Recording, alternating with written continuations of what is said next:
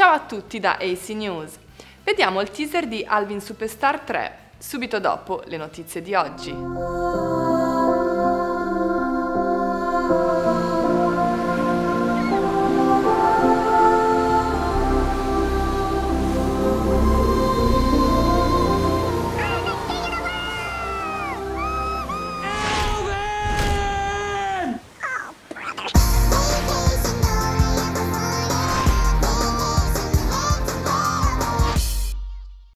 Dopo il grande successo dei primi due capitoli, la 20th Century Fox ha deciso di produrre Alvin Superstar 3, diretto da Mike Mitchell e distribuito in 3D. Pochissime indiscrezioni riguardo alla pellicola, per ora l'unica cosa certa è che il film uscirà in Italia il 16 dicembre 2011. The Hyde of March, il nuovo film diretto da George Clooney, aprirà al Festival di Venezia il prossimo 31 agosto.